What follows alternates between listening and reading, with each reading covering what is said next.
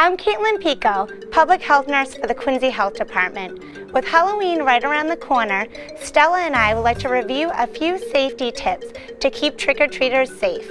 First, remember to never trick-or-treat alone. Stay with a group and have a trusted adult with you. Inspect all candy before eating it for any choking hazards or tampered packages.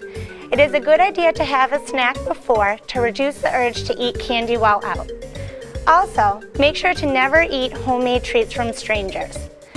Only go up to houses that are well lit and do not enter a stranger's home. Stay on the sidewalk when possible and look both ways before crossing the street. Make sure your costume fits appropriately and wear comfy shoes to reduce the risk of falls. And lastly, using reflective tape or glow sticks to your costume is a good way to stay visible to passing cars.